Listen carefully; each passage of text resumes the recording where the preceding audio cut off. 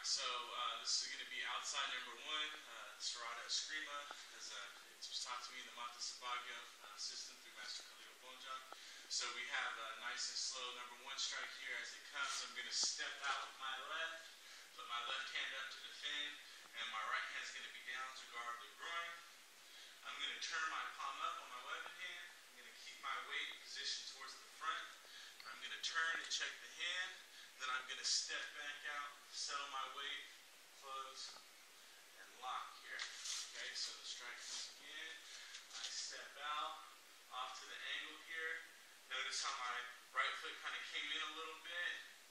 Bring this palm up. I turn, I step back out, settle my weight, and lock. Okay, one more time, nice and slow as this comes. I step to the side here, palm up, turn and pivot, step back out, and lock. So now a little bit quicker here. Here. That would be outside number one with uh, weapon.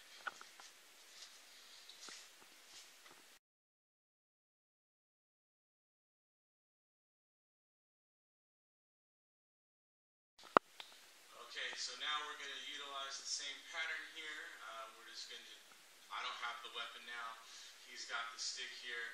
Uh, the pattern still works, so as he comes at me nice and slow, I step in here. I bring this up to attack the arm. I'm going to turn. As I pivot my weight back, I'm going to turn this here so I can strip the weapon. I'm going to come in and hit with the punyo, hit with my arm, throw that nice little backhand there with the stick. So as that comes in, I step in at an off angle. This is going to come up, turn, rotate this back in for the strip, hit, uppercut, backhand, all that other good stuff. One more time, nice and slow. As that comes in, I step, bring this up, turn, bring that down so I can strip, come in and hit, hook punch, backhand with the stick. Alright, a little bit more speed here. Here. Alright.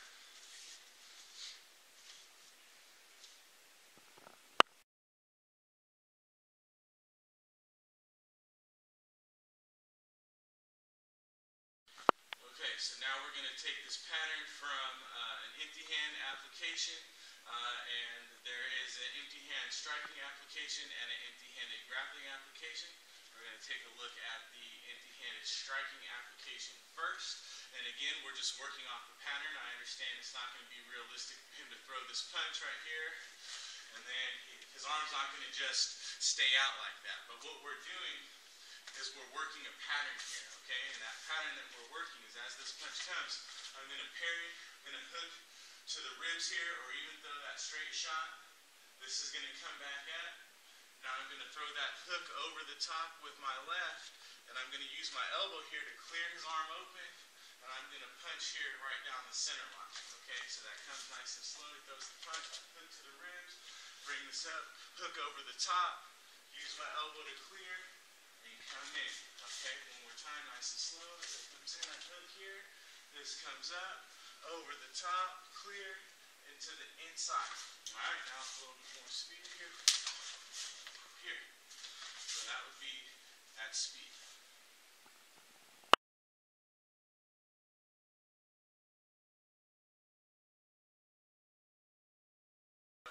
So uh, now we just took a look at the outside number one striking application. Uh, this would be uh, more of a grappling application. So it'll actually start the same way. So when the punch comes, I'm going to shift and I'm going to try to hit here to distract him. I can even come down low to the groin if I want. This is going to slide up and I'm going to try to trap the arm here. Now, you're not going to be able to just break the arm here, but you are going to be able to manipulate their posture.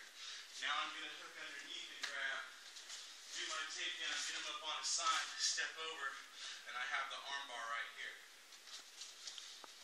Okay, so punch comes, hit, this is up here. I rotate this over and I come in, take the leg, step over, pinch the knees, and I have the arm bar right there. One more time, nice and slow. The punch comes, I hook. This is over, underneath the grab, take down, step over, and and now with a little bit more speed here. Right here.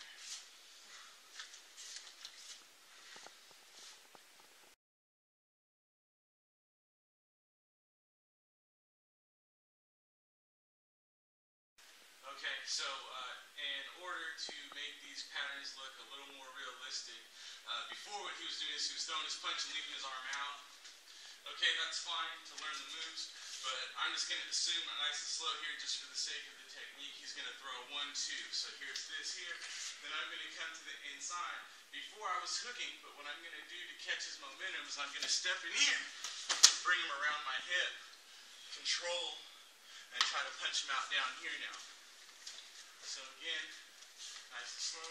One, two. This comes in. Toss him around the hip. Hit here. Work on getting it around his guard. One time. That punch comes in here. This is in. This comes around. Over. Control. Control. Hit. Hit. Hit. I'm in good shape. Now a little bit more speed.